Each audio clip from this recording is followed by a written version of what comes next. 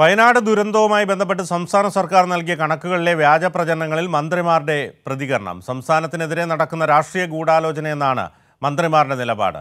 എന്നാൽ സംസ്ഥാന സർക്കാരിന്റെ കണക്കുകൾ സാമാന്യ ബുദ്ധിക്ക് നിരക്കാത്തതെന്നാണ് പ്രതിപക്ഷത്തിന്റെ ആരോപണം.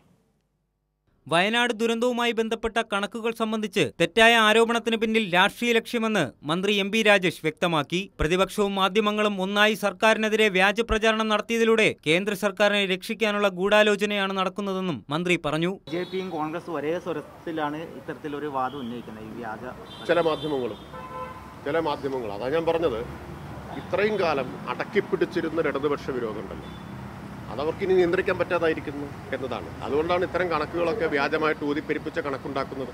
സർക്കാരിന്റെ വിശ്വാസ്യത തകർക്കാൻ കള്ളപ്രചരണം നടക്കുന്നതായി മന്ത്രി പി എ മുഹമ്മദ് റിയാസ് വ്യക്തമാക്കി. കേന്ദ്ര സഹായം കിട്ടരുതെന്ന് ആഗ്രഹിക്കുന്നവർക്കാണ് അസത്യപ്രചാരണം സഹായകരമാകുന്നതെന്നും മന്ത്രി പറഞ്ഞു. ഇത് വളരെ ബോധപൂർവം. കേരളത്തിലെ സർക്കാരിന് നേരെയുള്ള ഇരുതല മൂർച്ചയുള്ള ആയുധ പ്രയോഗമാണ്. ഇരുതല മൂർച്ചയുള്ള ആയുധ പ്രയോഗം. ഒന്ന് ഈ സർക്കാരിന്റെ വിശ്വാസ്യത തകർക്കുക. ഇപ്പോ കേന്ദ്ര സർക്കാരിൽ നിന്നും നമ്മളൊക്കെ തന്നെ ഫണ്ട് പ്രതീക്ഷിക്കുകയാണ്. എന്നാൽ ചിലർക്ക് സംസ്ഥാനം ഭരിക്കുന്ന ഇടതുപക്ഷ സർക്കാരാണ്. അതുകൊണ്ട് കാലാണ് കിട്ടരുത്. കേന്ദ്ര ഫണ്ടൊന്നും കിട്ടരുത്. ഈ സർക്കാർ നിരകിച്ചു പോകണം ആകെ പ്രയാസപ്പെടണം.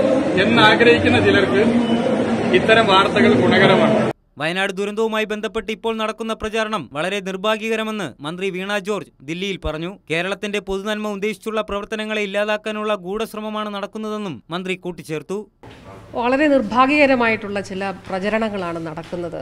വാസ്തവത്തിൽ കേരളത്തിന്റെ ഒരു പൊതുനന്മയെ അല്ലെങ്കിൽ ആ ഒരു പൊതുനന്മ ലക്ഷ്യം വെച്ചുള്ള പ്രവർത്തനങ്ങളെ ഇല്ലാതെയാക്കുന്നതിന് വേണ്ടിയിട്ട് അട്ടിമറിക്കുന്നതിന് വേണ്ടിയിട്ടുള്ള ചില ബോധപൂർവമായിട്ടുള്ള ശ്രമമായിട്ട് ഇതിനെ കാണാനായിട്ട് കഴിയുകയുള്ളൂ. വയനാട് ദുരിതാശ്വാസം സംബന്ധിച്ച് സംസ്ഥാന സർക്കാരിന്റെ കണക്കുകൾ സാമാന്യ ബുദ്ധിക്ക് നിരക്കാത്തതെന്ന് പ്രതിപക്ഷ നേതാവ് വി ഡി സതീശൻ പ്രതികരിച്ചു. സർക്കാരിനോടൊപ്പമാണ് പ്രതിപക്ഷമെന്നും എന്നാൽ കണക്കുകളിൽ വ്യക്തത വേണമെന്നും വി ഡി സതീശൻ വ്യക്തമാക്കി.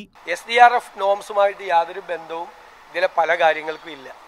മാത്രമല്ല ഇതൊരു സാമാന്യ യുക്തിക്ക് നിരക്കാത്ത കണക്കുകളാണ് വെച്ചിരിക്കുന്നത്. അത് നമുക്ക് പണം കിട്ടാതെ പോകരുത് ഇതിന്റെ വിവാദത്തിന്റെ പുറത്ത്. ഇതൊരു വിവാദം ഉണ്ടാകരുത്. ഇതിന്റെ പുറത്തുനിന്നാണ് ഞങ്ങൾ ആഗ്രഹിക്കുന്നത്. ഞങ്ങൾ ഇക്കാര്യത്തിൽ ഗവൺമെന്റിന്റെ കൂടെയാണ് നിൽക്കുന്നത്. അതേസമയം മേപ്പാടി ഉരുൾപൊട്ടൽ ധനസഹായം നൽകുന്നതിൽ നിന്ന് കേന്ദ്രത്തിന് കൈകഴുകാനാവില്ലെന്ന് കെ. മുരളീധരൻ പ്രതികരിച്ചു. പ്രധാനമന്ത്രി വന്നുപോയിട്ടും കേന്ദ്രം പ്രാഥമിക കണക്ക് ശേഖരിച്ചിട്ടും കാൽക്കാശ് പോലും കേരളത്തിൽ അനുവദിച്ചില്ലെന്നും അദ്ദേഹം വ്യക്തമാക്കി. കേന്ദ്രത്തിനൊരു ചുമതലയുണ്ട്.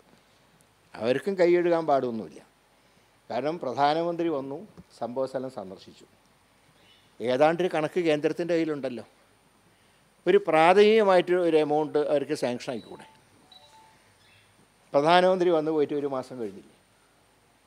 ഇത്രയും ദിവസമായിട്ട് എന്തുകൊണ്ട് കാൽ കാശ് പോലും എന്തുകൊണ്ട് കേന്ദ്രം തന്നില്ല? വിഷയത്തിൽ സത്യസന്ധമായ നിലപാട് സർക്കാർ കൈക്കൊള്ളുകയും കാര്യങ്ങൾ വിശദീകരിക്കുകയും വേണമെന്ന് രമേശ് ചെന്നിത്തലയും മുസ്ലിം ലീഗ് നേതാവ് പി കെ കുഞ്ഞാലിക്കുട്ടിയും പ്രതികരിച്ചു.